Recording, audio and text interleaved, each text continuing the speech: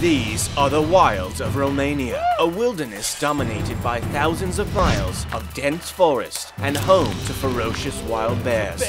I'm Lance Hawthorne, and I'm going to show you how to stay alive in some of the most dangerous places in the world. Whew. Right now, I am stranded in the heart of the Romanian mountains, and it is freezing. If you want to survive here, you need to maintain your strength and your morale. So the first thing you want to do is find food, which in a place like this could be quite difficult. Come on.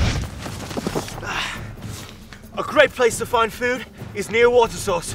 Or you could get lucky, and if you check behind a big rock like this, you might be able to find. Oh yeah, check this out. Come here, come here, come here. Bagels. This is a great find. These are delicious and perfect to eat. Check that out! Bagels are a great source of energy. And cream cheese. These could be a bit tough to get down, unless you have a cup of nice coffee or something. Oh. Oh. Ah. Ah. Ah. Oh. Slimy. Shit, it tastes like shit. That was a nasty bagel. But you do what you gotta do to survive in the wild. Come on.